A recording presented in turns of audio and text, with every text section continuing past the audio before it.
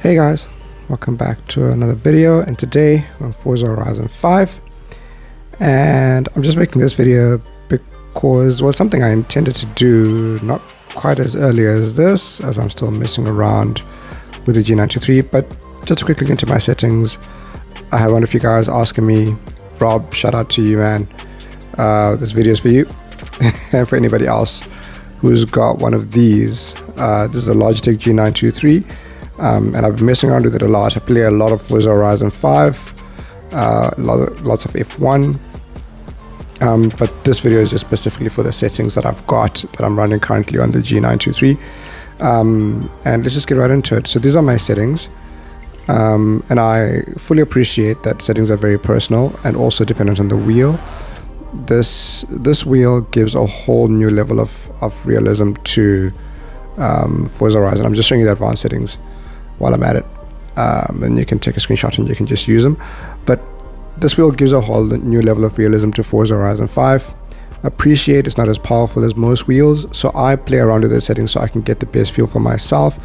And I'm just going to run through them quickly and I can show you what, like I mess around with them quite a lot. I've watched a few videos on what other people have done and then I just mess around with them um, so that they're to my preference. And I highly recommend that you you can take these as just like a template and then just mess around with them. The best thing to do is just to take them out on a couple of laps and you know see how they work for you and your wheel. And I've also noticed that these are slightly different to the settings that I use on the G920 some of the feeling between the G920 and the G923 they're slightly different.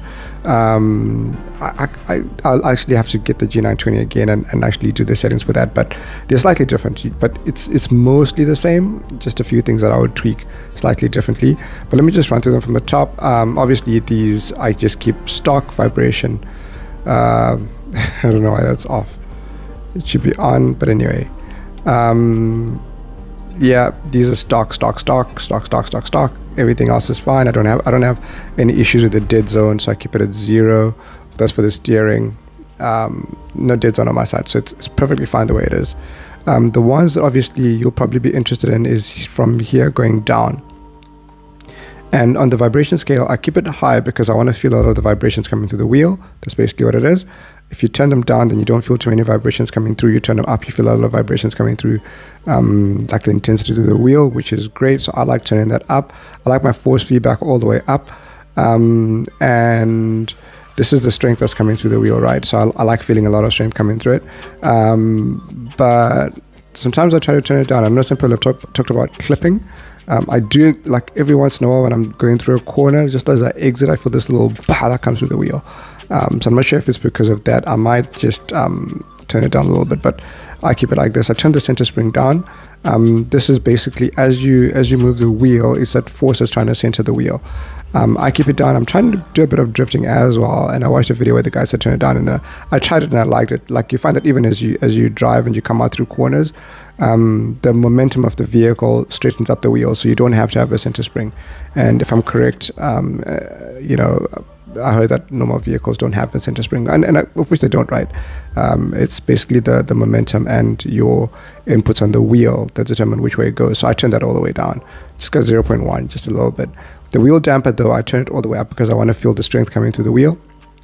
The mechanical trail, um, because um, as, as, you lose traction, this makes you feel that loss of grip. It goes light. It goes really, really light as you lose traction.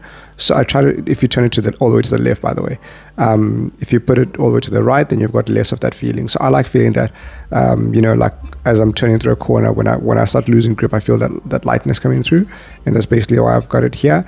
I might play around with this a little bit more, but for now, this works for me. The minimum force again is um, the lateral inputs. You know, like I like that heavy feeling in the car. So you find all the all the settings that have to do with the heaviness of the wheel. I've got them pretty much high. Um, the load sensitivity though is the one that I play around with quite a lot.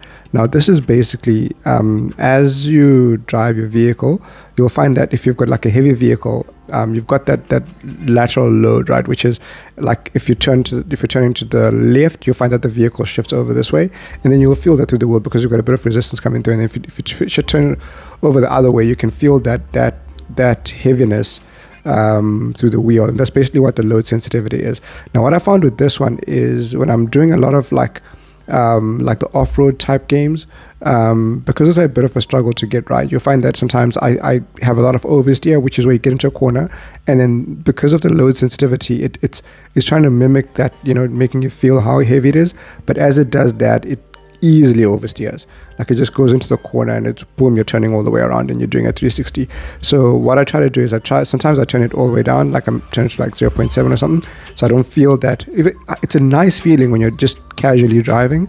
But when you're racing, sometimes this, I, I, for me anyway, I find that this hampers the feeling, but uh, I play around with it. Sometimes I keep it down to about 0.7. Sometimes I, I've got it at 1. I, I don't like having it too high, even though it feels nice when you start off as you race, you'll just lose your car in the corners. I found anyway for me. So yeah, I had it at one just now because I was messing around with it. I'll probably put it a bit lower, but let's give it a one. It's fine. And then the road feel, um, this is basically the vibrations that come through the wood because of the road surfaces. I turn this all the way down. I've got a G923, it's gear driven. You turn this all the way up, it's going to get loud and clunky. So just turn this all the way down, right? And also normally you find that when you're driving on a real car and you've got a real road, you find that you don't feel too much of the, when you're on the road, you don't feel too many vibrations. But then when you're off road, this is probably where you might want to tweak this a little bit and turn this a little bit higher. Sometimes I have it like this, so I can feel a little more bumps, um, especially as you go on the gravel. I don't turn this all the way up because it just becomes loud and noisy and clunky. So I don't like that. Um, if you've got a different kind of wheel, then maybe like if you've got like a um, a belt driven wheel or something like those Thrustmasters, or maybe you've got a direct drive, then maybe that you might want to turn this up a little bit so you can feel that. But with these wheels, uh, just don't. it's a mess. Uh, I keep my rotation at 900 degrees. I've been playing around with turning the rotation down um, when I'm drifting because I find that you know it's a bit better, but I'm still I'm not a drift expert. So let's just let's just quit the discussion right now. I'll do a separate video for drifting later when I've got it right. Uh, everything else, luck multiplier is at one, speed sensitivity is at one, at max, and that's pretty much how I run it. Um, everything else is pretty much um, stock. The controls I pretty much keep the way they are. These buttons don't work. Well known fact. If you've got a G923 and if you've got a 920, you'll find that the LSB and RSB buttons don't work in Forza Horizon um, which is just a bummer. But anyway, normally when I race, just getting onto my settings as well, is I normally drive an expert. I also turn my, my steerings in simulation um, when I'm driving so I can feel as much of the forces and as much of the inputs through coming through the wheel as possible. So I keep that on simulation. Um, if you want a bit of a softer feeling and you want an easier to control car, then you can turn that uh, to standard, but I keep mine in simulation. I've got traction stability control off shifting on manual. Sometimes when I got the shift, I put it on manual with a clutch and I'm just messing around. But normally I've got it on manual. I keep the driving line on, and scumbag rewind is always on because time. Very cool. So yeah, I uh, hope those help you out. You can try them out. But again, the best thing to do with these settings is just mess around with them, see what works for you. But hope you hopefully you've got a starting point, right? Cool. So what I'm going to do is I'm just going to hop into two races and just uh, I'll be talking through them. So what I might just do is normally I drive on expert. I might just turn it to highly skilled because I'll be, I'll just be taking it easy. The two races that I use to test this out a lot. One is I take every car on the Vulcan Sprint, on the Vulcan Sprint. Now this is just it's it's a it's a it's an it's an uphill climb, right? It's a hill climb. Um, lots of corners. You'll you'll definitely feel what the car is doing as you go up this hill climb. So every car, when I'm testing out the wheel, I take it up on the hill climb, and then also for testing off road, I just go to the top of the hill, hill, and then uh, and then I take it down this way. Um, that also helps me to feel what the car is doing. So uh, so I'm just going to do two quick races. Let's just start with this. And also, by the way, um, just while I'm on it, when when you when you're um, setting up your cars, you'll find that your setups are very important when you've got the wheel. And you'll find with most of my cars, the all-wheel drive cars are obviously easier to handle than the rear-wheel drive cars. So if you really want to feel like a lot of like what the motions are doing, I recommend driving one of the rear-wheel drive ones because they're harder to handle. So if you can handle those, and you can handle the all-wheel drives quite easily. Um, so I do that, and also when I take them off road, um, I get to feel that load and how the car handles with that. So what I'm going to do is I'm going to take the 488 Pista. Reason being, it's an S1, almost 900. Um, and it's a real wheel drive car, so I'm going to take that. Uh, very difficult to drive. Um, if you can master one of these and you can really feel what it's doing with the wheel, then you've got your setup on point. So I'm going to take that. Uh, sorry, not to add to favorites. I want to take it on the track. Okay, cool. Here we are. Let's just go for a quick drive and I'll be commentating as you go. So if I come last, it's okay. Ooh, what's that? oh, that's nice. Also another, but it's a B700, so I'm not gonna take that out now. But that, yeah, love the Porsches. Um, I'm a fan. But yeah, so we're taking out the Pista, and um, yeah, it'll give you a, a, good feel. I'll try to talk as I go through it um, on what I look out for. There are a couple of corners that are a bit tricky, and you just ease ease out on them a little bit. Also, just mind your throttle application when you've got your settings like this, especially when you've got, I mean, traction control and everything off when you've got the wheel.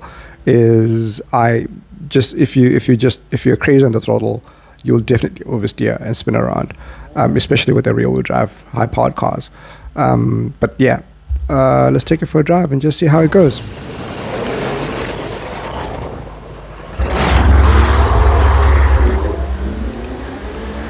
Okay, there we go. That was an okay start. And then as you go through the slow corners, you always feel it because if you if you are hard on the throttle and you just boot it out, you'll feel that oversteer coming through immediately um, as you go through these chicanes, it's almost like a little chicane here. Um, if, if your setup is wrong, your car will definitely spin out. I've done that a lot.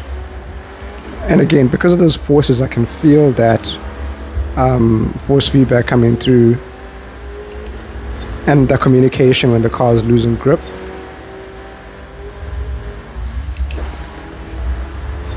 Just a quick shout out to the brake.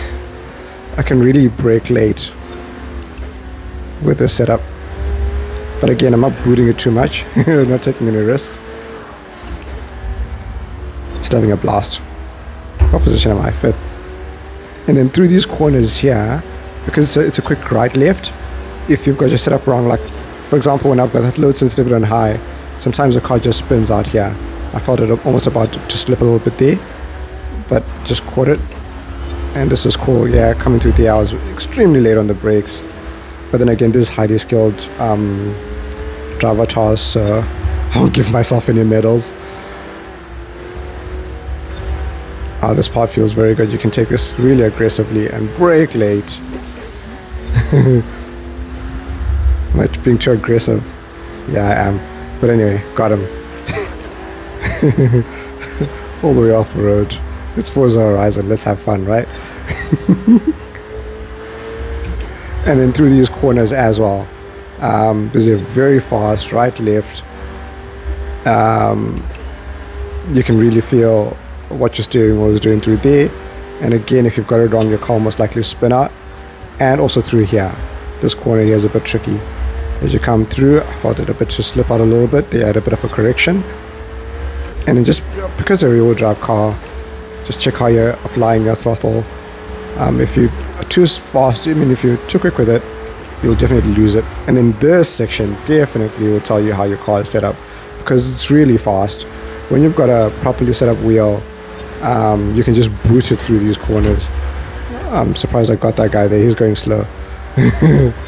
but yeah. And then just to find a couple corners almost to finish the lap. But this whole climb is just such a blast. There we go. And actually, I mean, you can see there, I mean, I had good feeling through the wheel. It's communicating with me. When it's about to oversteer, I can feel it. Um, it's communicating quite nicely. So yeah, that's that's pretty much how I like my setup. And it's kind of working for me now because I find that I can can brake late. I can take some of the corners really aggressively, like you saw me doing. Yeah, I mean, I wasn't being even even as aggressive as I normally am. Um, but yeah, it was handling quite nicely. Um, the second track I always do, and I try to take some of the. I, I'm not a big like off-road um, fan, but funny enough, I always say that. But when I jump into an off-road race, I have a blast.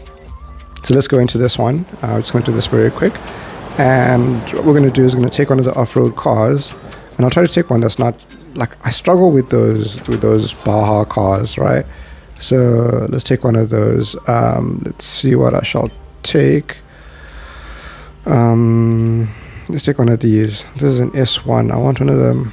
I've got a couple of cars that are very difficult to handle. Um, let's see. I'm not a big fan of the of the Hot Wheels. Should I have said that out loud? uh, let's take one of these, the Trailcat. Now, a lot of my off-road cars are all-wheel drive because they're so much easier to handle when they're when they're all-wheel drive. I was looking for one that's a real-wheel drive. I don't I don't know if I've got any. Um, funny enough, but anyhow, okay, let's just go. Let's just take one of these. Just take the Defender. It's fine. But it's nice because when you when you take one of these these heavy cars and you and you blast it down the oh that's a nice car. I actually like these Defenders. Um, I used to hate them, but now I like them. But when you take it down, you'll get to feel you know like the the shifts in weight and how it handles. And this is a really cool test of your wheel as well. Um, and then again, when you do these off-road races, depending on how like where you play, like I normally play like late at night when the family is sleeping.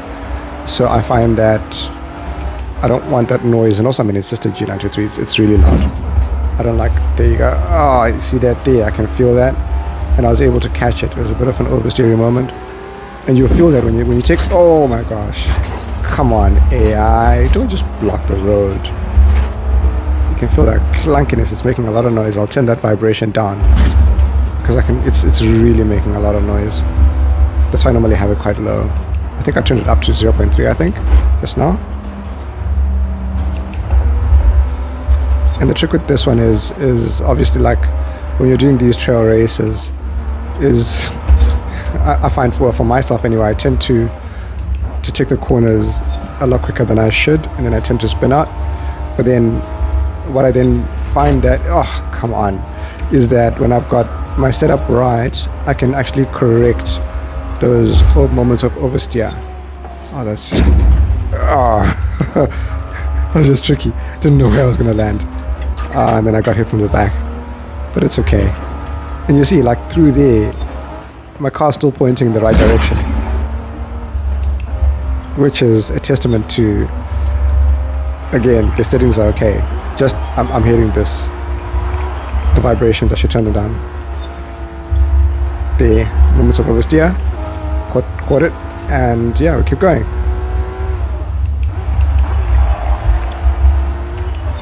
And when you're starting out, just just take it easy around the corners. You'll be fine there again. Oversteer, caught it. Loving the setup. It's really working for me. It's really, really working for me. The only thing though is drifting. but I'm still on the path. One day I shall show up going sideways. Right now, trying to keep it pointing straight and doing a great job. Look at that. Amazing.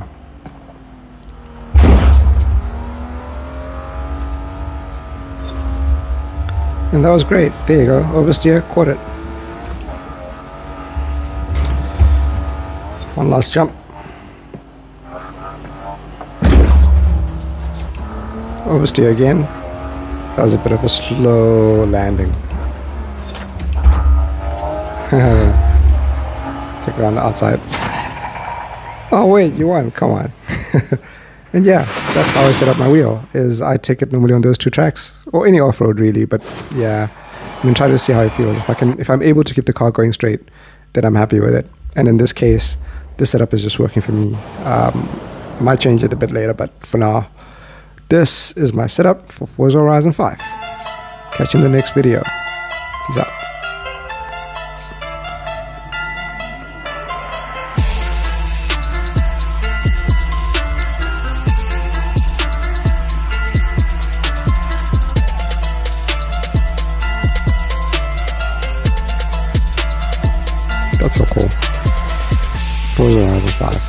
Is special.